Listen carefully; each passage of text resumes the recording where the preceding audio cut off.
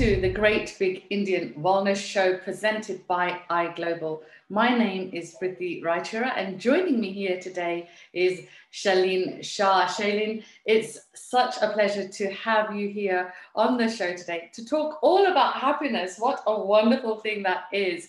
So to start off with then, Shailene, for the benefit of those people that are joining us today, what is happiness? Happiness is a multitude of things often we just think of it as a fleeting um, emotion, but it's much more than that. Um, I'll give you three quick um, definitions of happiness, which I work with. So the first is happiness or health or uh, the human being is made up of four dimensions. It's the physical, the body, it's the mental, the mind, social and um, emotional, so our feelings and our relationships, and the spiritual. So those four combined together is what happiness and health is about. Um, another definition is um, a quote by my uh, by Mahatma Gandhi. Happiness is when what we think, what we say, and what we do are in harmony, they're in alignment. Sometimes we can be thinking one thing and saying another, and there's a disconnect. But when they're aligned, that's happiness. And um, from the science of happiness, uh, Sonja um, um, one of the happiness um, researchers, what she has shared is that it's the experience of joy, contentment, of positive well-being combined with a sense of one's life is good, meaningful, and worthwhile. And with those three, we can see it's more than just a feeling, it's encompassing a lot more. So those are the different things that um, we have for happiness. And really, it's an internal state. It's an internal, internal state. Now, over the last 18 months, because of the, the global lockdown uh, that many people have experienced, um, I'm sure has made people feel extremely down and depressed. And we keep hearing about this, that a lot of people are, are feeling down, their mental, the mental state um, doesn't allow them to experience happiness. So how can that actually be changed? Yeah, no, so with this one, uh, a couple of things that I'd like to share is what the science is showing is our happiness 50% of it is our genetics. So it's down to our parents and our grandparents, and we can't change that. 10% is circumstance. So it might be a new job, a new relationship, or a loss of a job, or a pandemic, those kind of things. But 40% is our internal state of mind. And what we need to learn to do is put 100% of our time, energy, and effort into that 40% that we can control. So we often are trying to worry about things we can't control, like the pandemic or like the economy or other people. But what we can control is what we do. And so if we take the pandemic, you know, example, what we can do is wash our hands, keep socially distant. So we can do things which help us control um, our mind, um, control the things we do. And some of these things, um, as we do them, help release the happy chemicals into our system and help flush out the stress related ones. And when these happy chemicals are low, that's when we do feel anxious and depressed and sad. Um, some of these um, you will have heard of, like dopamine, oxytocin, serotonin, and endorphins. So those who are marathon runners will have heard of endorphins. These happy chemicals are generated by our body and they come into our system and they have a particular function to work. What we can do is we can do various practices which help release these. And some of these um, practices are things like um, practicing gratitude, mindfulness or meditation, um, acts of kindness and compassion, um, having some sunlight, being, being in the sunlight, a little bit of dark chocolate, exercise, um, spicy foods, um, so and laughter. So all of these things are things which can help boost our happiness. So what we've got to do is remember that these are things we can control. We can put our energy into these things, and when we aren't doing these things, our happiness chemicals can be, you know, less. But there are things we can do, and it's building these. In build, I guess you know, you're talking about obviously some of it is already in there, it's in the mind, and you know, you said forty percent of of it is actually something we can control. So if we yes. can control that in terms of happy habits, what do we actually mean by happy habits? You know, I can sit here and smile at you but then as soon as I log off from this, I might feel really sad. But how can I sustain that smile for the rest of the day? Perfect. So smiling is brilliant and laughter is good. they're releasing the happy chemicals and the physiology is changing and going into a, sometimes a state that we remember from before. Mm. And you're right, sometimes um, uh, we can't, uh, the key here is we can't be happy all the time. I'm a happiness coach, I have my ups and downs. But what we're trying to do is be happy more often than we're not. And our life is made up of moments. And the more moments we have that we're happier, the happier our life is. So that's one part. The other is awareness. By asking ourselves the questions of what am I feeling at the moment, being aware of that, or using a scale of zero to 10, where am I on that happiness scale, which is what I often ask. We ask, we become aware of where we're at. Then we have the next action, which is choice. We can choose to say, okay, I'm at this, I'm, I'll leave it at that, or I'm at this and I want to change this to go higher. And then we can take action on the back of that. So embracing negative emotions or disempowering ones or sad ones is an important part. We've got to, you know, feel the grief, we've got to feel the sadness, we've got to feel the anger and the frustration. But what we can learn to do is not hold on to it for as long as we do and not wallow in it as for as long as we do. So we can choose to then not fall as far and step out again, do happiness. So practicing gratitude is one. Um, mindfulness is another. A few minutes of you know present moment awareness or meditation is another aspect. Acts of kindness. These are easy to do where we help someone else or acts of service. These all release the happy chemicals.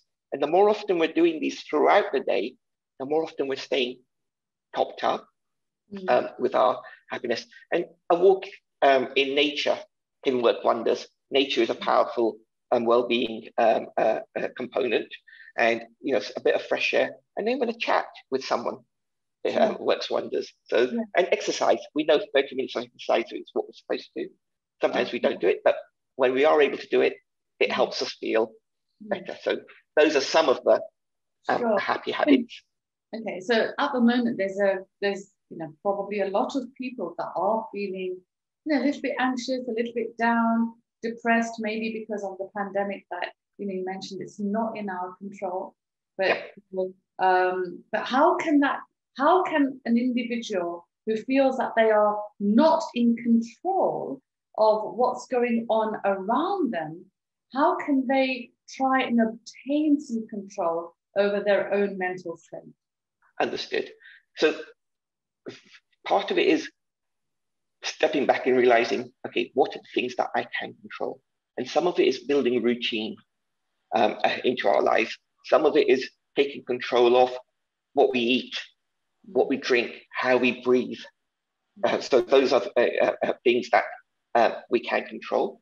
Um, some of it is what we listen to, what we consume. So not just what we consume on a food basis, but from a news point of view, as well as you know, look at the negativity out, that's out there. The world is built on a negative bias. So we look for the good and we can ask ourselves the question, okay, what are three good things that happened to me today? what um, what am I grateful for?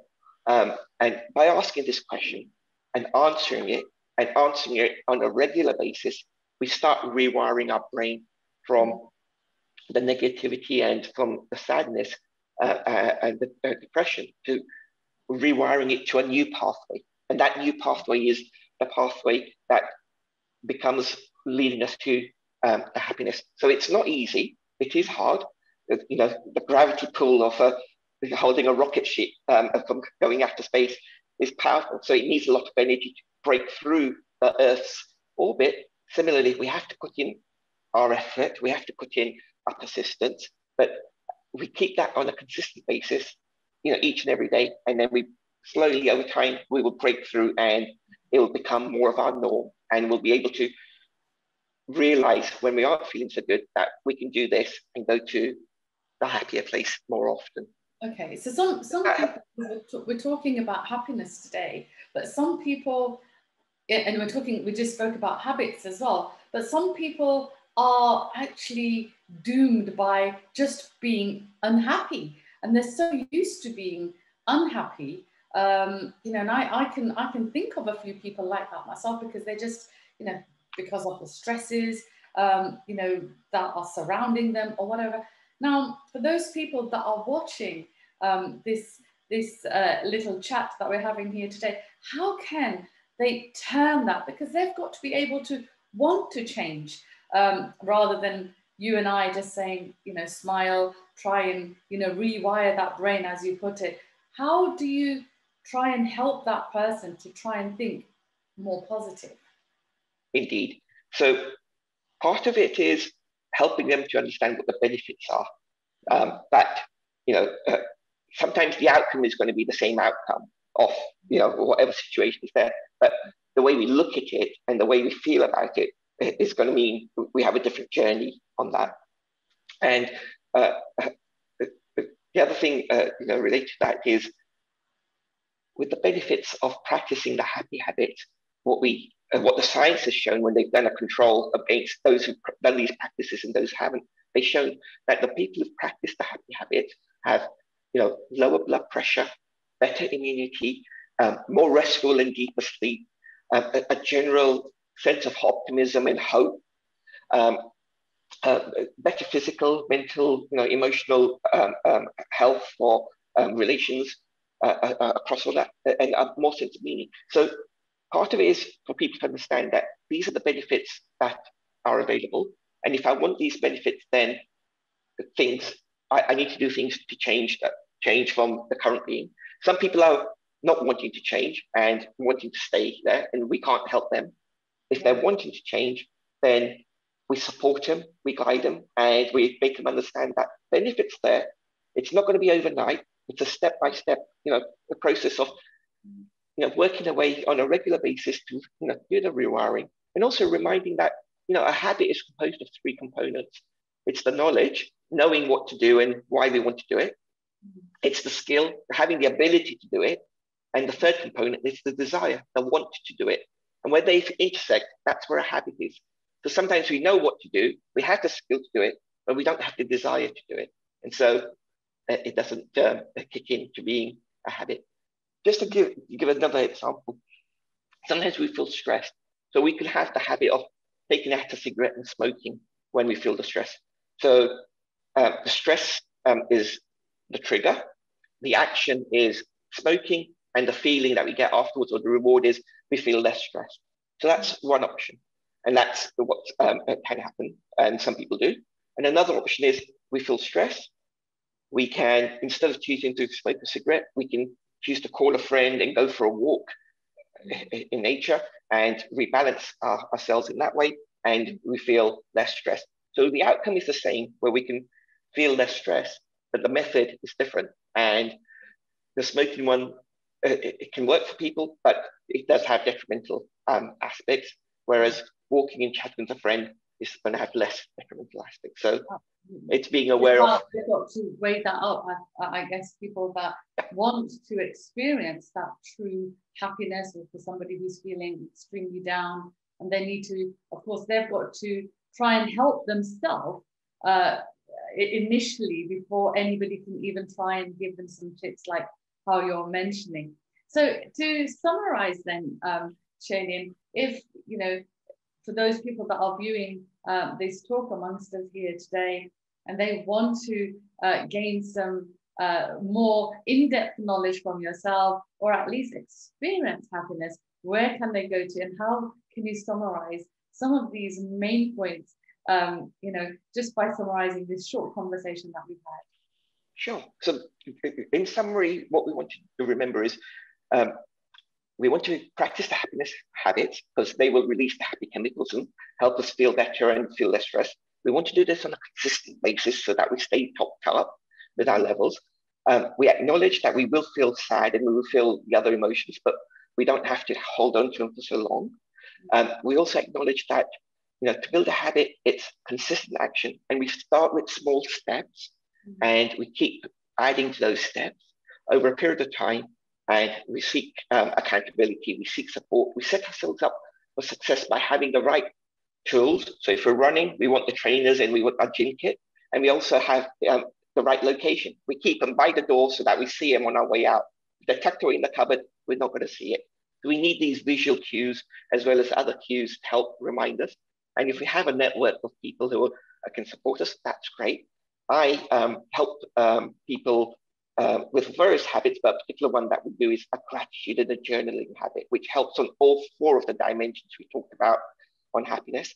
And we do a 30 day um, habit immersion program where each day we're building on that habit of gratitude and journaling over a 30 day period with support, with um, guidance and accountability so that at the end of the 30 days, they've got two habits which support them for the rest of their lives. Um, so Awesome. consistent steps is uh, the key here. And anybody that wants to gain more information about the 30 day program, where can I get that? Where can they get that information from? Sure. So it, the website is happylifehabits.co.uk. And also um, you can find me on Facebook and LinkedIn, but, uh, but the website is um, probably the easiest way to remember it, happylifehabits.co.uk. Great. Well, thank you so much, Shailene, for joining me here today on iGlobal. From me, Priti Raichura, and of course, our guest here today, Shailene Shah. Uh, thank you uh, once again for joining me. Thank you for the opportunity, iGlobal team.